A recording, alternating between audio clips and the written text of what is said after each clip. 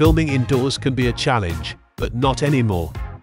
I have this revolutionary Proaim Comet mini jib that is compact in size, but packed with all the features you need to capture stunning footage to exceed all on-set requirements. I must say Proaim has done an incredible job on this jib. They have literally changed what is possible for filming in confined or remote locations and elevated the level of cinematography on expedition shoots. Proaim has got other versions of the same jib having different lengths and payloads. You can check on their website as per your needs. This right here is Comet 4.5 mini jib, perfect for my setup requirements for the shoot. Well, it is relatively light but can handle quite a bit. It's made with precision machined aluminium, which makes it tough and sturdy enough to carry up to 50 kilograms slash 110 pounds.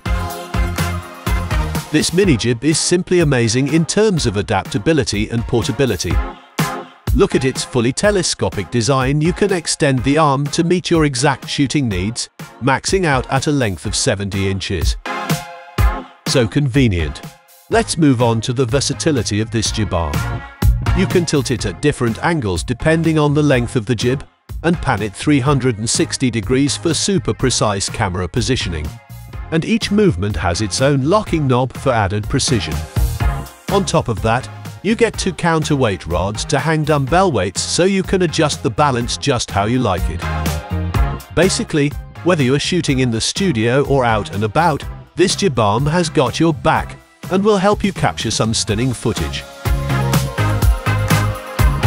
Now let's go through its amazing setup flexibility. This Comet Mini Jib is equipped with Euro mounting, allowing it to be paired with any standard Euro remote head system.